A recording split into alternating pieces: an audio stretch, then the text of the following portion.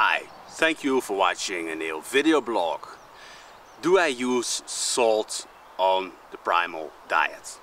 A viewer asked me this question, what do you think about salt?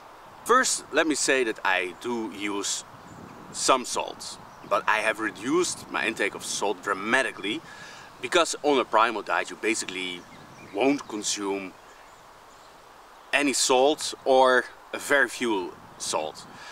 So if you see my diet, uh, raw milk, there's no salt in it. Uh, raw eggs, there's no salt in it. You don't need any salt to eat it. Then uh, for lunchtime I take some meats, most of the times raw.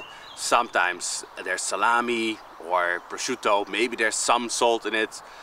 Um, but this is a very rare occasion that I take more than a few days of salami, mostly just one day and the next day I take some raw meats, unprocessed, uh, not fer uh, fermented, um, I would better say, because oh, in a way salami is processed, but it's fermented, so it's a natural processing.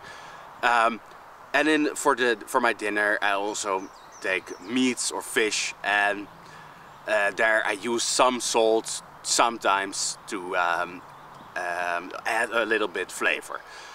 So I do use salt, but I use it very uh, sparingly. And in that way, you can use salt, and salt can be beneficial.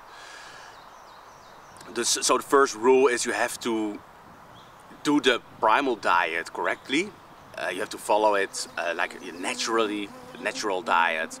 And in this way, you already remove all the salt immediately. Because if you, for example, eat a standard diet, or maybe like what I did in, the, in, in, my early days, 15 years ago, the Atkins diet, low carb diets, you will eat a lot of processed low carb things uh, and in normal diet you eat a lot of processed foods and the processed foods are the, the worst. They consume a lot of salt um, and artificial flavors and all these other uh, bad, harmful things for you. So by changing to the primal diet you already eliminate the overuses of salt directly. So what's left is you, for, for what I do and what I would say to somebody that wants to start a primal diet is use salt wisely and use the good kind of salt. To use it wisely is that I can imagine that you are not uh, able directly to eat everyday raw steak. Maybe you want to cook it first and then you start to cook it very rare. And of course you want to add some salt because you haven't been used to eating without a lot of salt. So it is very good to um, do for a steak or a pork belly or chicken and add some salt to it. And if this is the only moment in the day that you are consuming salt, it isn't harmful. It isn't more than uh, 10 grams.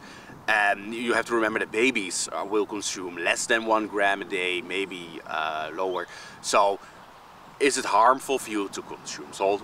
No, if you do it in this way.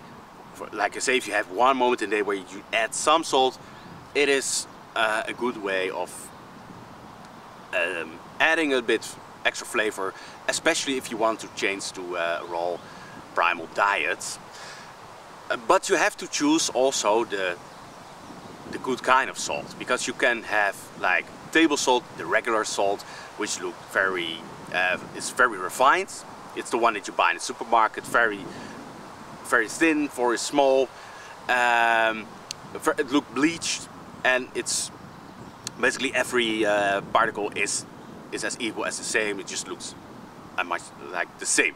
I stopped using table salt. I just removed it. I threw it away uh, because it's basically so processed that it hasn't any minerals left. It's only just saltness and there's just some chloride and natrium in it but it's not enough to be healthy and you will quickly use a lot of it because it's just so it doesn't contain anything so you will need a lot to um, to get the effect of uh, salting.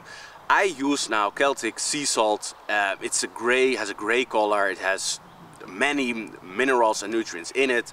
And like I say, I use it uh, only one time a day uh, maybe I don't even use it uh, in a day, but for example, when I want to uh, eat a cooked steak or uh, eat something else that I that I cook, because I'm not hardcore primal dieter, I am 90% primal dieter, but I do see uh, a reason to cook and fry. I don't see it as that harmful if you do it in um, in a controlled way. I use Celtic sea salt. It's a, it's, it's a lot more expensive than of course supermarket salt, but it is worth it and you uh, will use it in fewer amounts than that you will do with the table salt.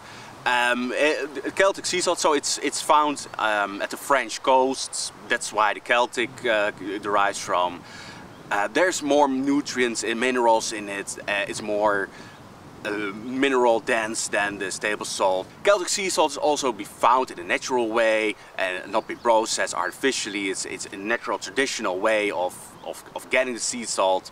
And there's for example more calcium and kalium in it and it's, it's a more it's a healthier choice. It's very mineral rich so you really your body really gets something out of it besides make spicing your uh, your, your food a bit up uh, adding a bit of saltiness to your food.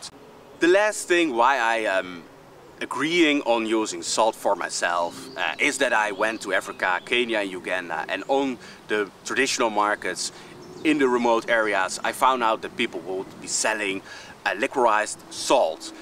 They had these rocks and they uh, would uh, break something off and they would uh, sell it and if you took this liquorized rock, it looks like a rock and you just bit it off, it's just was like salt, it broke easily and this, the, the taste was delicious, it was as liquorized. Um, and they used it, it was just like a treat to them or they cooked with it.